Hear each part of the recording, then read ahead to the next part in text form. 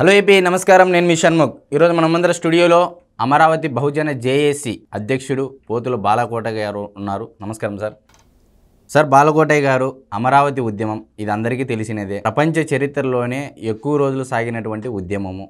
ఇంతవరకు ఆ ఉద్యమాన్ని బీడ్ చేసిన ఉద్యమాలు అయితే లేవు. ఈవెన్ తెలంగాణ ఉద్యమం కూడా చిన్నబోయింది అమరావతి ఉద్యమం ఉందా మరి ఇటువంటి పరిస్థితుల్లో మీరు అప్పట్లో జగన్మోహన్ రెడ్డి గారి పరిపాలన కాలంలో అమరావతి ఉద్యమంలో పాల్గొన్నటువంటి ప్రతి ఒక్క మహిళను కానీ అంటే ఎవరైనా సరే అది ఒక మహిళలే అని కాదు. కించపరిచిన అవహేళనగా మాట్లాడినా బూటుకాలుతో తన్నినా అరెస్టులు చేసినా ఏమి చేసినా ఉద్యమం నిరంతరాయంగా ఎన్ని ఆటంకాలు సృష్టించినా మీ యొక్క సంకల్ప బలంతో ముందుకు తీసుకెళ్ళ వెళ్ళారు. అంతవరకు బాగుంది సార్. ఈ విషయంలో మిమ్మల్ని అభినందించాలి. మరి అదేవిధంగా ఇప్పుడు అమరావతి ఏ స్థాయిలో ఉంది కొత్త ప్రభుత్వం ఏర్పడింది అంటే మీరేం చెప్తారు సార్? ధన్యవాదాలు. ఒక వరద వస్తే ఒక ఉప్పెన వస్తే ఒక గాలి వస్తే శిథిలమైన ఇల్లు తిరిగి మళ్ళీ పునర్నిర్మాణం జరిగి మళ్ళీ గోడ కట్టుకొని గుంజ బాతుకొని రంగేసుకొని తిరిగి పునఃప్రవేశం చేస్తాం చూసారా ఇప్పుడు అమరావతి అలా ఉంది. అంటే ఒక ఐదేళ్ళ పదఘట్టంలతో నదిగిపోయి ఏడ్చి కన్నీరు పెట్టి వగచిన అమరావతి. ఆ పాదం పెట్టిన అతను వెళ్ళిపోగానే కొత్త ప్రభుత్వం రాగానే మరణం లేని ఫినిక్స్ పక్షిలాగా మళ్ళీ నిలబడి ఆంధ్రప్రదేశ్కి ఈ దేశానికి ఒక రాజధాని అంటూ ఉందని గట్టిగా బలంగా చెప్తుంది. నిన్న కేంద్ర ప్రభుత్వం ఇచ్చిన పదిహేను వేల కోట్ల రూపాయల ఆర్థిక సాయంతో లేదా చంద్రబాబు నాయుడు గారు మంత్రి నారాయణ గారు లాంటి ఒక ప్రణాళికాబద్ధమైన పనులను చేయటానికి వేగవంతమైన పనులను చేయడానికి సంబంధించిన ఒక సంకల్ప బలంతో అమరావతి ఇప్పుడు ఆంధ్రప్రదేశ్కు రాజధానిగా ఉంది. ఇదే డిబేట్లో మేముందే ఏడాది క్రితం బాలకోటయ్య గారు ఆంధ్రప్రదేశ్ రాజధాని ఏది? అని అంటే మనం ఏం చెప్పుకున్నాం? సినిమాలో చూసినట్టు ఇటు దిక్కులు చూసాం. అంటే జగన్మోహన్ రెడ్డి మేడ అట్లా మనకి. ఆంధ్రప్రదేశ్లో ప్రజల మెడ రాజధాని ఎక్కడుంది అని అడిగితే మెడ తిప్పే విధంగా చేసిండు. మూడు రాజధానులు పెట్టి. ఆ చెరల పోయింది. మరి అయితే ఇప్- ఇప్పటికైనా కొత్త ప్రభుత్వం ఏర్పడిన నాటి నుంచి అంటే వంద రోజుల పాలన సాగింది.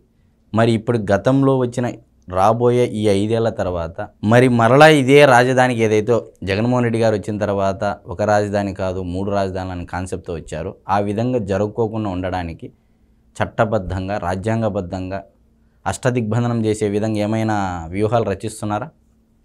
అసలు అమరావతి రాజధాని చట్టబద్ధం. చట్టబద్ధంగానే నిర్మాణం జరిగింది. చట్టం ఒకటి ఉంది చట్టానికి పద్ధతి ఉంది చట్ట ప్రకారంగా జరిగిందని గుర్తించే పరిపాలకుడైతే గుర్తించేవాడు. ఆ పరిపాలకుడికే చట్టం లేదు. అంటే అంబేద్కర్ రాజ్యాంగం లేదంటారు. ఆయనకున్న చుట్టమే. చట్టం లేదు ఓన్లీ చుట్టం. ఓన్లీ చుట్టాలే ఉంటారు. సజ్జల సుబ్బారెడ్డి లేదా కరుణాకర్ రెడ్డి.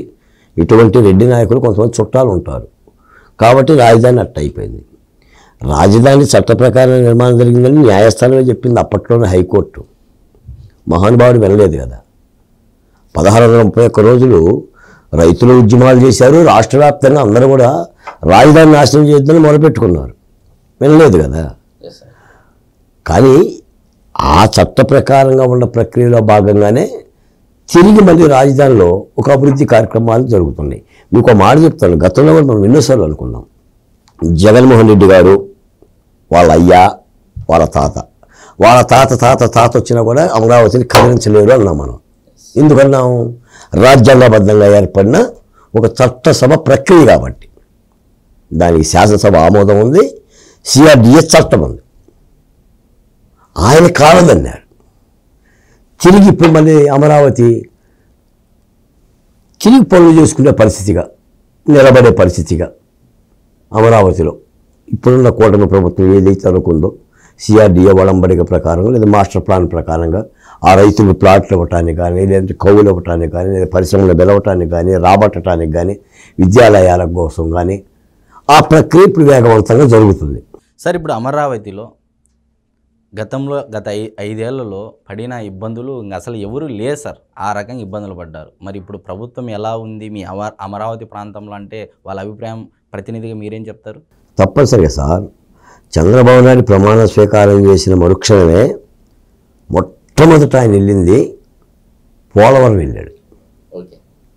రెండో రోజు అమరావతి ఏపీ అంటే అమరావతి పోలవరం అన్నట్లుగా. అమరావతి వచ్చాడు.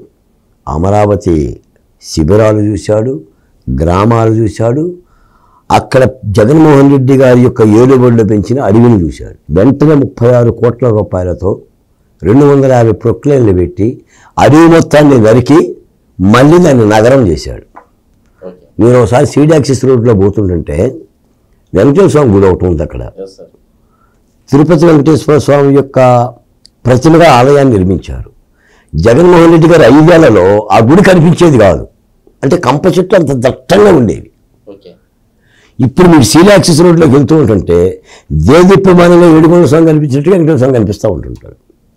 అంటే జగన్మోహన్ రెడ్డి గారు చేసిన పనికి పెంచిన చెట్లకే ముప్పై ఆరు కోట్ల రూపాయలు ఖర్చు అయిందంటే దాన్ని బట్టి జగన్మోహన్ రెడ్డి గారికి అమరావతి మీద ఉన్న కోపం దాష్టీకం పగ ఎంతో అర్థమవుతుంది. ఓకే. మరి అయితే తిరుమల లడ్డు ఇది సెన్సేషనల్ టాపిక్ ప్రపంచవ్యాప్తంగా హైందవులకు సంబంధించినటువంటి అంశం. మరి ఇటువంటి అంశంలో భిన్నాభిప్రాయాలు కొంతమంది సుప్రీంకోర్టు ప్రధాన న్యాయమూర్తులను కూడా విమర్శించే స్థాయికి ప్రజల్లో బలంగా ఒక వాదన అయితే ఏర్పడింది. ఏమని ఆరోపణ చేస్తున్నారంటే అసలు ఆ జడ్జికి హైందవ ధర్మం అనేది తెలుసునా అనేది కొందరు అంటే కొందరు అసలు సీఎం మాట్లాడకూడదు ఇంత తప్పు జరిగిన తర్వాత ప్రజలకు తెలియాల్సిన అవసరం ఇది కంపల్సరీ తెలియాల్సిన అవసరము. అయినా కూడా ఒక న్యాయమూర్తి ఎలా చెప్తాడు? ఒక ముఖ్యమంత్రి స్థాయిలో ఉన్నటువంటి అది రాజ్యాంగంలో ఏమైనా ఉందా? సీఎం ఇలా ప్రకటన చేయకూడదు? ఆయన కూడా అది ప్రెస్ మీట్ పెట్టుకోకుండా ఒక ఎన్డీఏ సమావేశం వాళ్ళ ఎమ్మెల్యేల మీటింగ్లో జస్ట్ చెప్పడం జరిగింది. మరి ఇన్ని చేసినటువంటి ఈ పరిణామాల మధ్య సుప్రీంకోర్టు ఇచ్చినటువంటి తీర్పు ఇంకా కోర్టులోనే ఉంది. ఈరోజు తీర్పు కూడా రాబోతోందని చెప్పేసి ఒక సమాచారం. మరి మీ అభిప్రాయం ఏమిటి? ఇది ఈ అంశం పైన. ఇప్పుడు సాధారణంగా షణ్ముఖ్ గారు ఆంధ్రప్రదేశ్ సంబంధించి మనం పదే పదే కూడా ఒక కథ చెప్పుకుంటాం. నలుగురు గుడ్డివాళ్ళు ఏనుగును చూసినట్టుగా. మొదటి గుడ్డివాడు వెళ్ళి కాళ్ళను చూసి ఏనుగు దిమ్మలాగా ఉంటుందని చెప్పిండు. రెండో గుడ్డివాడు చెవులను చూసి ఏనుగు చాటలాగా ఉంటుందన్నాడు. మూడో గుడ్డిగా ముడ్డి గుడ్డివాడు కంటి మీద చెయ్యేసి ఏనుగు చాలా చిన్నగా ఉంటుంది అన్నాడు.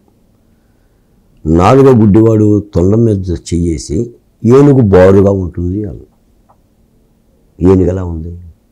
ఎలా ఉంటుంది? ఇది ఆంధ్రప్రదేశ్లో పెద్ద అంశమైంది.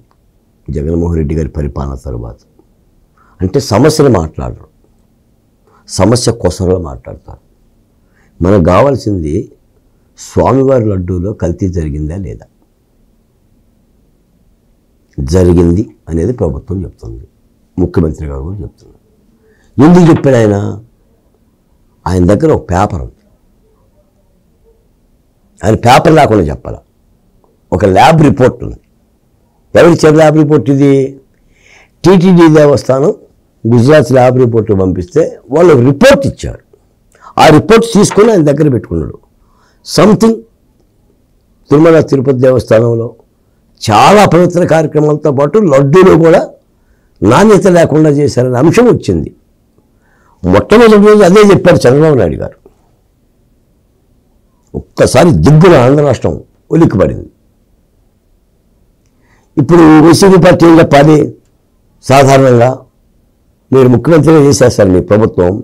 మీ ప్రభుత్వ హయాంలో అవినీతి జరిగింది లడ్డూలో. మీరేం చెప్పాలంటే నేను అడుగుతున్న షణ్ముఖ్ గారు ఏం చెప్తారు? బాలకోటయ్య అనవసరంగా లడ్డూ విషయం మాట్లాడుతున్నాడు ఒక ముఖ్యమంత్రి అయ్యిండి ఎట్లా మాట్లాడుతున్నాయని అంటారా? మీరు విచారించుకోండి నిరూపించుకోండి ఎన్ని విచారణ అయ్యండి మేము తప్పే చేయలేదని అంటారా? ఆ మాట వచ్చిందా మీ నోట? లేదు. వైసీపీ నుంచి ఆ మాట లేదు. చంద్రబాబు నాయుడు గారు ఎందుకు రోడ్డు గురించి మాట్లాడారు? భక్తుల మనోభావాలను ఎందుకు గాయపరిచారు? పూర్తి నిర్ధారణ ఎందుకు చేసుకోలేదు? ఏం నిర్ధారణ చేసుకోవాలి? ఒక నిర్ధారణ ఉంది. ప్రధానమైన అంశం ఏంటంటే నాలుగు ట్యాంకులు వచ్చినాయి. జూలై ఆరో తారీఖు పన్నెండు తారీఖు. ట్యాంకులు పరిశీలించారు. నాణ్యత మీద అనుమానం వచ్చింది. తిప్పి పంపించారు. దాన్ని ల్యాబ్కు పంపించారు. ల్యాబ్లో కూడా ఆవు నెయ్యితో పాటు ఇతర ప- జంతువుల నెయ్యి వాడాలనేది వచ్చింది. మరి అంతకుముందు వచ్చిన ఎనిమిది ట్యాంకులు వాడేశాము. ఈ ట్యాంకులు పంపించింది నేనే. ఆ ట్యాంకులు పంపించింది నేనే. ఈ ట్యాంకుల రేటు మూడు వందల పంతొమ్మిది రూపాయలు కేజీ. ఆ ట్యాంకుల రేటు మూడు వందల పంతొమ్మిది రూపాయలే. కాబట్టి జరుగుతుంది అనేది ప్రభుత్వ అనుమానం. దాని మీద సిట్ చేసింది. ఈ ఛానల్ జరుగుతుంది. సరే మీరు న్యాయ న్యాయస్థానాలు. నేను న్యాయస్థానాలు జోలికి పోను. అలా పోవటం ఇష్టమో కాదు. అలా పోవటం ధర్మం కూడా కాదు. ఎందుకు కాదు? మాకుండా నిబంధన అది. మీకు ఇష్టం ఉండి పోతే పోండి. నేను న్యాయస్థ న్యాయమూర్తుల జోలికి పోము న్యాయమూర్తులు చేసే వ్యాఖ్యల మీద మేమేం మాట్లాడం అంటే ఇక్కడ న్యాయ జడ్జీలను విమర్శించాలని జడ్జీలను వ్యక్తిగతంగా ఆరోపణలు చేయాలని కాదు. జడ్జి జడ్జిమెంట్ ఇచ్చిన తీర్పుపై మాట్లాడడం అనేది ఒక భారతదేశ పౌరుడిగా ప్రతి ఒక్కరికి ఉన్నటువంటి సాధారణ సాధారణంగా ఏమంటారంటే ఏదైనా న్యాయస్థానం తీర్పిస్తే ఆ తీర్పు మీద మాట్లాడే హక్కు పౌరుడికి ఉంటుంది. ఏదైనా ఒక జడ్జి ఒక అమెండ్మెంట్స్ చేస్తే దాని మీద మాట్లాడే అవకాశం కూడా పౌరుడికి ఉంటుంది అంట. కానీ ఈ కేసు విషయంలో సుప్రీంకోర్టు తీర్పు చెప్పేసింది లడ్డు. లడ్డూలో కల్తీ లేదని సుప్రీంకోర్టు చెప్పింది. అని వాళ్ళ వైసీపీ సోషల్ మీడియా వాళ్ళ పేపర్ వాళ్ళ టీవీ చెప్పేస్తుంది. దాన్ని సమాధానం చెప్పు తెలుగుదేశం పార్టీగా. జడ్జి లేదు వైఎస్ఆర్సీపీ పార్టీ వాళ్ళైనా ఎలా అలా ప్రచారం చేసుకుంటారు? ఇంకా జడ్జిమెంట్ రాకనే సుప్రీంకోర్టు చంద్రబాబుపై ధ్వజం సుప్రీంకోర్టు చంద్రబాబుపై కన్నెర్ర ఇలాంటి పదాలు ఎందుకు వాళ్ళు అలాగే చేసుకుంటారు. ఓకే. ఏం బీకుతారు చెప్పండి. ఎంతమంది చేసి నన్ను కమ్మోడు అన్నారు? బాలకోట కమ్మోడు పసుపురంగోడు చంద్రబాబు నాయుడు గారి బంటు రాధాకృష్ణ పుట్టో రామోజీ పుట్టో మధ్య నా పుట్టో. కాదురా బాబు నేను దళితున్నా అన్నా నేను అమరావతి చెప్పిన కూడా చెప్పాను కదా సార్ అనంతవరంలో తేనె నాలుగు పంచదార పలుకులు చేతులు వేసుకొని తినండి ఎంత తీయగా ఉంటాయో. తేనెను అరిచేతులు వేసుకొని నాకండి ఎంత కమ్మగా ఉంటుందో.